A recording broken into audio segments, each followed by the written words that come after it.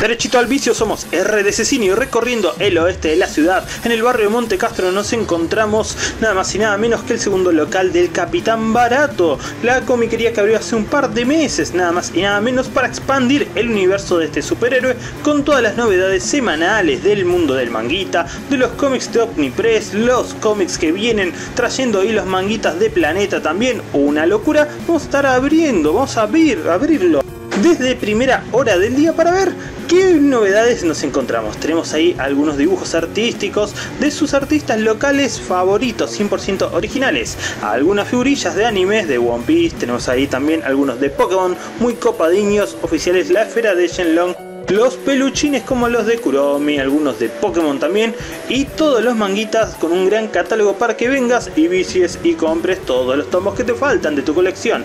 Ahí hay cómics de Magic también, hay unos cómics de HL de la Muerte también de Salvador Sanz algunos de Marvel, otros de DC, pero también muchos argentinos y algunos de Star Wars para coleccionar. El Street Fighter es mortal. Los de Batman de la serie animada es una locura total. Batman Inc. me encanta. Algunos, mira, ahí tenés un Torchic, ahí tenés un Piplop.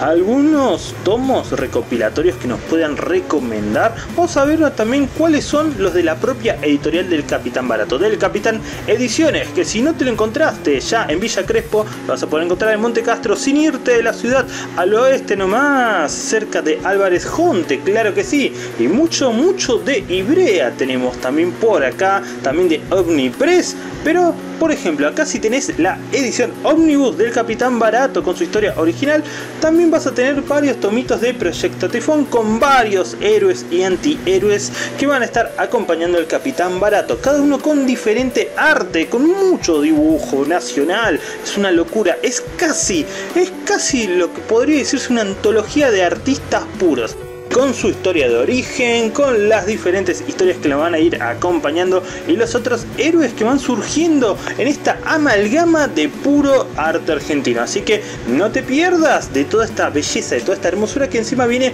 con un diarito extra. Y recuerden que tanto en este local como en el local de Villa Crespo van a encontrarse con todas las cartas de Pokémon Go de los diferentes eventos que están haciendo en el Parque Redavia junto con Capitán Barato y con el Abismo de Helm.